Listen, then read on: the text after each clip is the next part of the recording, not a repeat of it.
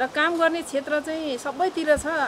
हामीलाई जनशक्तिको चाहिँ अभाव भएको अनुभूति भएको छ र यसलाई छिटो गराउनुहोस् भनेर हामी लाग्छ हाम्रो मन्त्रालयको मिसन भनेको चाहिँ हिउँदे अधिवेशन यहीँबाट सञ्चालन गर्ने भनेर त्यही अनुसार हामी धेरै पटक नै आइपुगेका छौँ निरीक्षणको लागि। उहाँहरूसँग संवादमा छौँ। छिटोभन्दा छिटो अब अगाडि बढाउनलाई चाहिँ सभामुखज्यू पनि आउनु भएको थियो। उहाँले पनि हेरिसक्नु भएको छ। सम्मान्य प्रधानमन्त्रीज्यू आउनुभयो। उहाँले पनि निरीक्षण हेर्नुभयो। आज समितिबाट सम्पूर्ण मान्यज्यूहरू सभापति लगायत मान्यज्यूहरू आउनु भएको छ। यो सबैको चासो भनेको चाहिँ जनप्रतिनिधि जहाँ चाहिँ प्रतिनिधि सभा छ त्यो जनप्रतिनिधि बस्ने र छलफल गर्ने ठाउँ पनि भाडामा बसिरहनु चाहिँ हुँदैन। हाम्रो आफ्नै भवनबाट सञ्चालन गर्ने भन्ने नै मुख्य लक्ष्यका साथ कामलाई चाहिँ अगाडि बढाइरहेको छ। अब यो दिन रात गरेर लाग्ने जति सबै कर्मचारीहरू ल्याएर यहाँ लगायो भने पनि अझै छ महिना चाहिन्छ हामीलाई भनेर म्याद माग्नु भएको छ छ महिना सरकारसँग।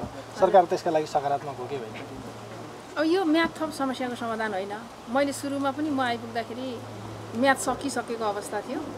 र मैले तपाईँहरूले कामको प्रगतिको आधारमा मात्रै म्याथ थप हुन्छ भनेर भनिसकेपछि उहाँहरूले छ महिना यो असोजभित्रमा बाहिरको जुन संरचनाहरू बनाउने जति चाहिँ हामी सम्पन्न गर्छौँ भन्नुभएको थियो अहिले अब त्यो हिसाबले हेर्दा चाहिँ सम्पन्न हुने गरेको अवस्थामा पुगेको छैन। त्यो हिसाबले अहिले अब हामी म्याथ थपको अवस्था सोचमा चाहिँ छैनौँ। काम जुन अस्तिको समझदारी थियो त्यो समझदारी अनुसार नै अगाडि बढ्नुपर्छ भन्ने छ। म्याद त भोलि सकिन्छ त्यसपछि के हुन्छ? त्यसो भए नथप्ने भएपछि त। अब त्यसो भइसके पछाडि चाहिँ के गर्ने भन्ने कुरा फेरि उहाँहरूसँग छलफल नगरिकन हचुवाको भरमा म्याथ थप भन्ने चाहिँ हुँदैन।